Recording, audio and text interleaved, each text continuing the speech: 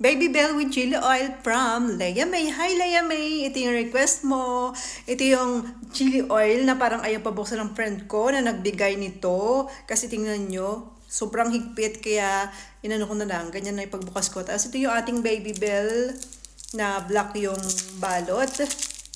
Follow niyo ako sa YouTube saka sa Facebook. Thank you. Ang pangalan ko ay Emma's Kusina sa Facebook at saka sa YouTube. Ayan yung ating baby bell. Ipunin natin yung wax niya at gagawin kong kandila. Tusukin natin yung baby bell. Ganito yung itsura niya. At idip natin dito sa chili oil ng ganyan. Ako lang naman kumakain itong ano, chili oil dito. Saka hindi naman siya madaling mapanis. Kaya kahit isauso natin yung uh, baby bell dyan sa loob. Kahapon puno to. Puno to. Tapos ngayon tingnan nyo, magkakalahati na siya. Ganyan ako kumain ng chili garlic oil. Chili oil. Kahit anong sili. Ubus ko kaagad yan. Let's try! Mm. Sarap?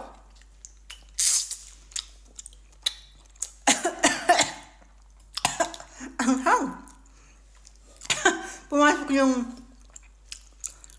sobrang anghang niya pumasok yung sili doon sa lalamunan papuntang ilong.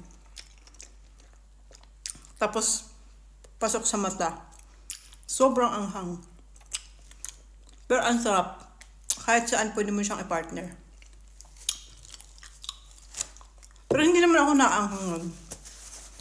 Ano lang siya siguro sa sobrang ahang na niya, tapang niya na pag pumasok sa ilong, ay medyo masakit ang konti. Thank you.